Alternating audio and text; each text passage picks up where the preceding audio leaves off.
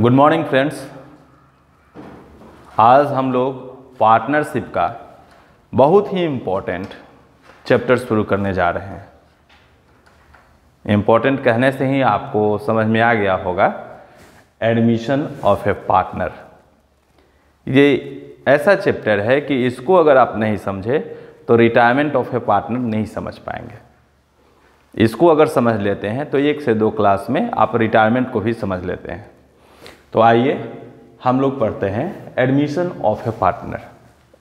Bihar board में भी या सीबीएसई बोर्ड में भी क्वेश्चन आता है कि write any two reasons for admission of a partner या वाई अ पार्टनर एडमिटेड किसी पार्टनर का एडमिशन क्यों होता है? या पार्टनरशिप एडमिशन के कोई दो कारण बताएँ? तो हम यहीं से शुरू करते हैं। A new partner is needed into the business due to the following reasons क्या क्या रीजन है? First when more capital is needed for the expansion of the business. Business को डेवलप करने के लिए एक्सपेंड करने के लिए अगर ज़्यादा कैपिटल की ज़रूरत हो तो हम न्यू पार्टनर का एडमिशन करते हैं। Second when a competent and experience person is needed for the efficient running of the business. किसी बिज़नेस को रन कराने के लिए अगर किसी इफ़िशियंट और एक्सपीरियंस पर्सन की ज़रूरत हो तो हम पार्टनर का एडमिशन करते हैं।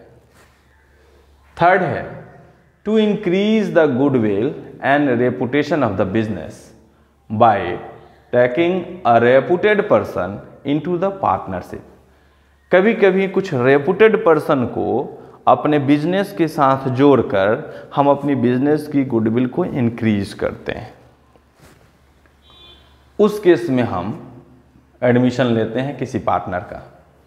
और फोर्थ है to encourage capable employ by taking him into the partnership कभी कभी अपने फॉर्म के ही कैपेबल एम्प्लॉय को, यानी जो गुड एम्प्लॉय है और डिवोटेड है ऑर्गेनाइजेशन के लिए तो उसको भी हम पार्टनरशिप में जोड़ लेते हैं।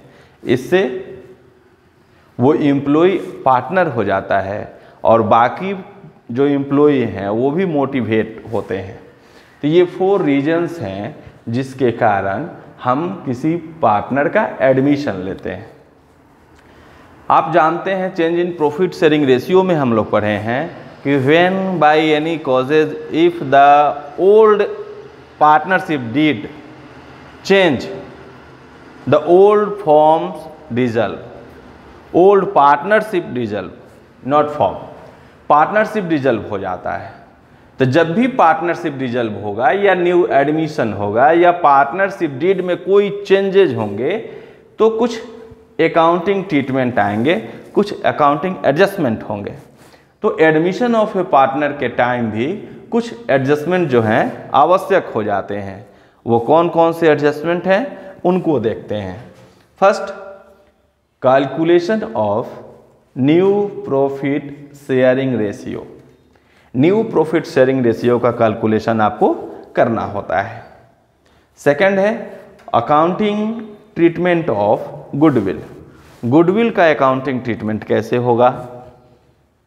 Third accounting treatment for revaluation of assets and liabilities new partner जब आता है तो हम असेट्स और लाइबिलिटी का रीवैल्यूएशन करते हैं और उस टाइम असेट्स और लाइबिलिटी की क्या वैल्यू है, उसका कैलकुलेशन करते हैं। नेक्स्ट है accounting treatment of reserve and accumulated profit reserve और एकुमुलेटेड प्रॉफिट है एडमिशन ऑफ़ ए पार्टनर के टाइम तो उसकी अकाउंटिंग ट्रीटमेंट क्या होगी?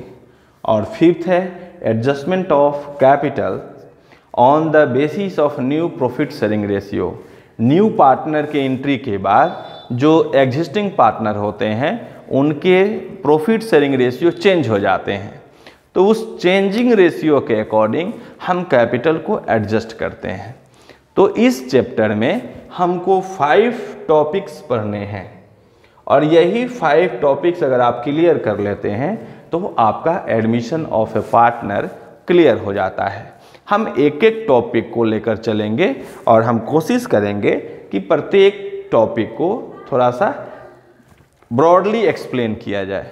तो आइए हम पढ़ने चलते हैं calculation of new profit sharing ratio आइए हम सीखते हैं। Calculation of new profit sharing ratio ये एडमिशन ऑफ़ पार्टनर का फ़र्स्ट अकाउंटिंग ट्रीटमेंट है और फ़र्स्ट रिक्वायरमेंट है।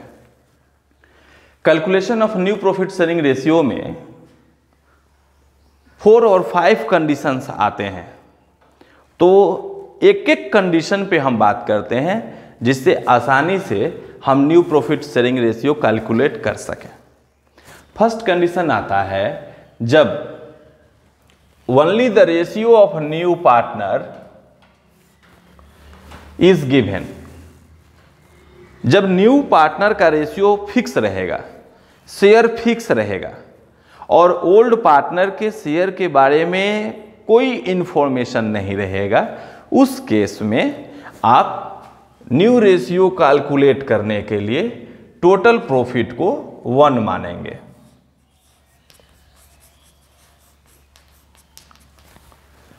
कब? जब न्यू पार्टनर का शेयर फिक्स होगा। One by six one by fifth one by ten twenty percent twenty five percent ये फिक्स शेयर रहेगा। और new ratio new partner old partner के बारे में कोई इन्फॉर्मेशन नहीं रहेगा। उस केस में आपको new profit selling ratio calculate करने के लिए पहले प्रॉफिट को वन मान लीजिए। अब जब वन मानते हैं तो देखेंगे सपोज़ कीजिए कि यहाँ पर ए और बी दो पार्टनर हैं जो थ्री इज़ टू टू में अपना शेयर डिवाइड करते थे। इन लोगों ने सी का एडमिशन किया, जो वन बाई फिफ्थ शेयर के लिए एडमिटेड हुआ। आपको न्यू रेशियो निकालना है। तो आप देख रहे हैं कि सी का शेयर यहाँ फिक्स है। और ए बी के बारे में कुछ नहीं कहा गया है। तो इस केस में आप प्रॉफिट को क्या करेंगे? वन मानेंगे। जब वन मानेंगे तो सी का शेयर तो फिक्स है। सी के शेयर को माइनस कीजिए।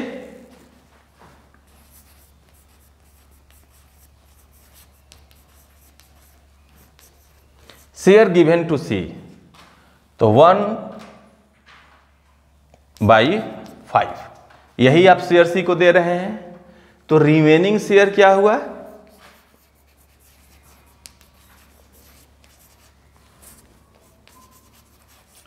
रिमेनिंग प्रॉफिट क्या हुआ? जो कि टोटल प्रॉफिट से वन बाई फिफ्थ आपने किसको दे दिया? सी को दे दिया।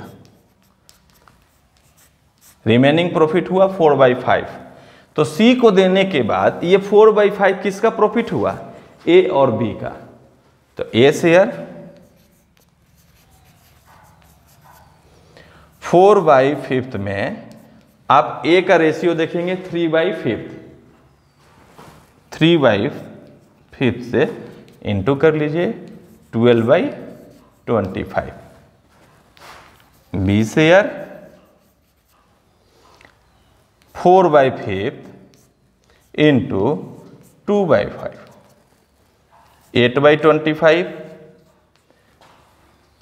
अब आप देखेंगे हम ए बी सी को लिखें तो ए का शेयर हो गया twelve by twenty five B का हो गया एट बाई ट्वेंटी फाइव और सी का दिया हुआ है वन बाई फिफ्थ यहाँ ट्वेंटी फाइव है, यहाँ ट्वेंटी फाइव है तो इसको भी ट्वेंटी फाइव करने के लिए क्या करेंगे? हम फाइव से इंटू करेंगे। अब रेशियो हमारा क्या आ रहा है? ट्वेल्व एट और फाइव यही हो गया न्यू रेशियो तो इस तरीके से जब न्यू पार्टनर का शेयर फिक्स हो और ओल्ड पार्टनर के शेयर के बारे में कोई इन्फॉर्मेशन नहीं हो तो उसे हम इस तरीके से बनाएँगे। अब इसके बाद नेक्स्ट कंडीशन क्या है, उस पर हम चर्चा करते हैं। सेकंड कंडीशन आता है sometimes the new partner purchase purchase his share of profit from the old partner जब न्यू पार्टनर कुछ शेयर परचेज करता है ओल्ड पार्टनर से तो उस समय न्यू प्रॉफिट शेयरिंग रेशियो कैसे कैलकुलेट होता है? आइए एक एग्ज़ाम्पल से इसको समझते हैं। सपोज़ कीजिए कि ए और बी दो पार्टनर हैं और इनका रेशियो जो है थ्री इज़ टू टू है। सी को ये लोग एडमिट करते हैं और सी आता है वन बाई फिफ्थ शेयर के लिए। अब सपोज़ कीजिए कि सी अपना शेयर इक्वली लेता है ए और बी से। ये अलग अलग रेशियो हो सकता है। कहीं इक्वली कहेगा, कहीं इसी रेशियो में कहेगा या कहीं रेशियो दे देगा। तो पहले इस टॉपिक को समझा जाए। जब इक्वली कहेगा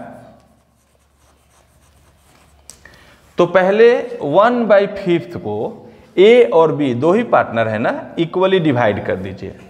तो वन बाई फिफ्थ है और दो पार्टनर हैं तो वन बाई टू करेंगे।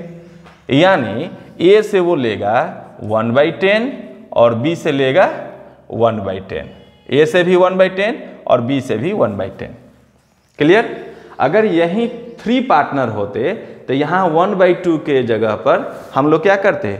वन बाई थ्री कर देते। तो थ्री पार्टनर हो जाते। अब ए के शेयर से वन बाई टेन को माइनस करेंगे तो ए का शेयर निकल जाएगा, क्योंकि सी ने परचेज किया है। यानी ए ने सेल किया है। तो ए जब सेल किए तो ए का शेयर तो इतना से माइनस हो जाएगा बी का शेयर इतना से माइनस हो जाएगा। उसके बाद हम न्यू रेशियो कैलकुलेट करेंगे। कैसे? आप लिखेंगे A share three by five minus one by ten. और फाइव टेन का एल्सियम आप निकालेंगे, टेन होगा, फाइव टू जा टेन, थ्री टू जा सिक्स, माइनस वन। यानी हो गया फाइव बाई टेन। फिर आप बी शेयर कैलकुलेट करेंगे तो two by five minus one by ten ten, five two जा टेन, टू टू जा four, minus one by ten. अब ये हो गया थ्री बाई टेन फिर आप देखेंगे ए बी सी ए का शेयर कितना है? ए का शेयर आ गया फाइव बाई टेन बी का शेयर आ गया थ्री बाई टेन और सी का शेयर कितना दिया गया है?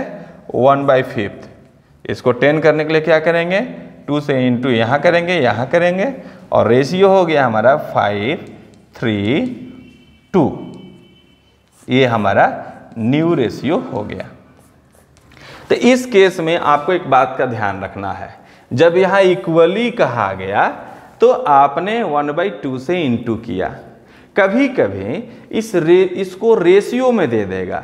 जब रेशियो में देगा तो कैसे होगा, हम यहाँ देखते हैं। सपोज़ कीजिए कि कह रहा है कि सी जो अपना शेयर है ए और बी से एग्जिस्टिंग रेशियो में ले रहा है। एग्जिस्टिंग रेशियो का सेंस हो गया थ्री इज़ टू टू वहाँ पर हम लिखेंगे सी परचेज फ्रॉम ए अब सी ए से किससे परचेज कर रहा है?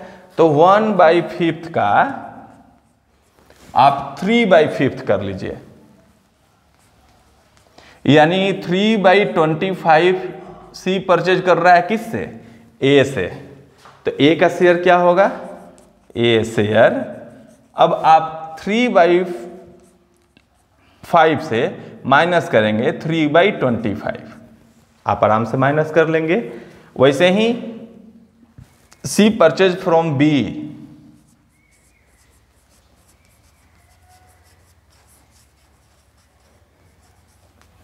उस केस में आप क्या करेंगे? One fifth into two by five कितना हो गया? टू बाई ट्वेंटी फाइव अब फिर हो जाएगा बी शेयर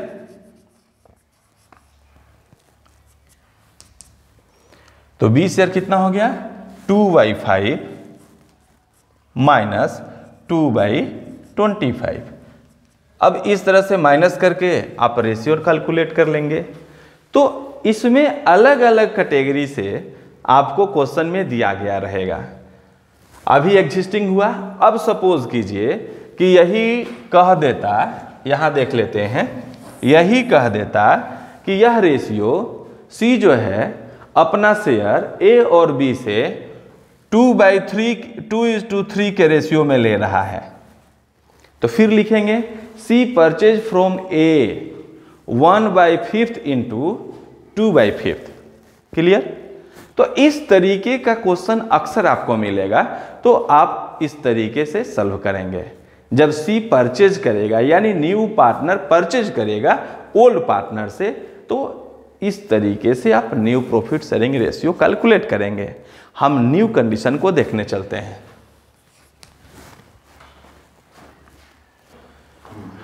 नेक्स्ट कंडीशन पे आ, बात करने से पहले हमें लग रहा है कि इस दो कंडीशन पे बहुत सारे क्वेश्चंस होंगे। तो आप इस दो कंडीशन पे क्वेश्चन बनाइए और नेक्स्ट कंडीशन की बात हम नेक्स्ट वीडियो में करते हैं।